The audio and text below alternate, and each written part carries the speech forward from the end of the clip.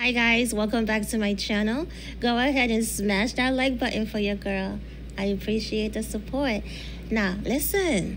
Remy Ma, the rapper, her son has been charged with M-wording a man in Queens in 2021. His name is Jayson Scott. He is only 23 years old.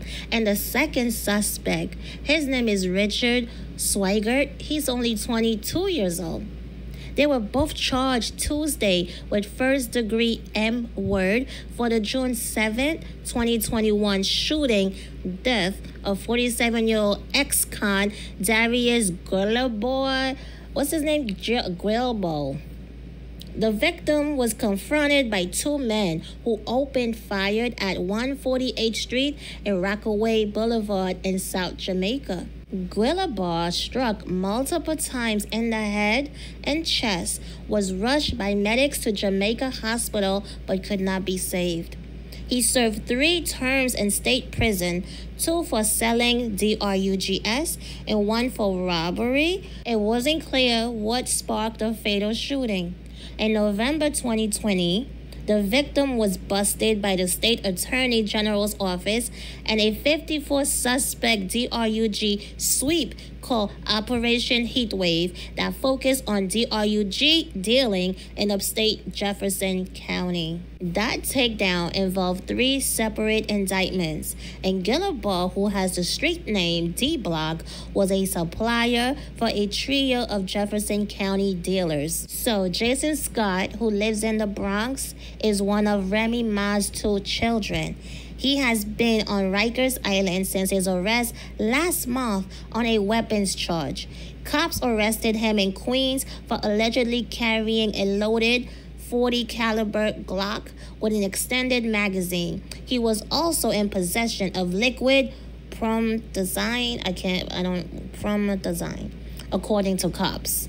Remy Ma, whose real name is Reminisce Smith, spent six years behind bars for shooting Makeda Barnes Joseph in the chest during a fight over money in 2007. Remember that, you guys? Prosecutors said the rapper shot one of her best friend over missing cash and then searched the bleeding woman's purse instead of calling 911. The victim, Makeda Barnes Joseph, said Remy Ma climbed into her car accused her of stealing about $3,000 and blasted her twice. Makeda Barnes Joseph said she had been a close friend of Remy Ma's for more than a decade. Remy Ma was released from prison in May 2014.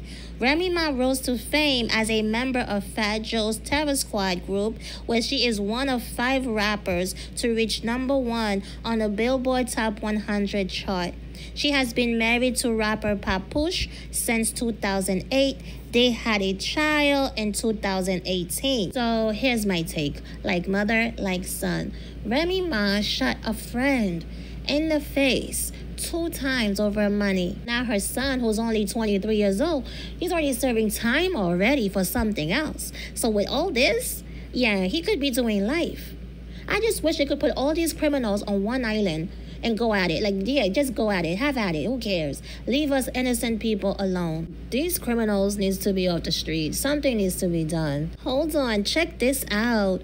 Remy Ma is not reacting to her son's arrest. She says, We stand by Jayson's innocence and pray that the NYPD will conduct a complete and thorough investigation to reveal the truth. This is undoubtedly a difficult time for my family and me. While we sincerely appreciate the love and support we have received from all of you, we kindly ask for privacy as our legal team works to prove Jayson's innocence. She also had this to say As his mother, I want to address this situation personally, but have been strongly advised by his legal counsel not to say anything, as most people in similar situations are informed by their attorneys due to it being an active case. Yeah, yeah, yeah, whatever, Remy Ma. You are a criminal. Your son is a criminal. This is a woman who shot a friend in the face, two times in the face, outside of a nightclub over money. Are we surprised that her son turned out to be a criminal? This guy is serving time already for something else. At Rikers Island right now as we speak. So spare me with all the BS, okay? That's all I have. You guys, thank you for tuning in. Please like, don't forget to subscribe to this channel. I appreciate the support and I'll see you on the next one. Peace.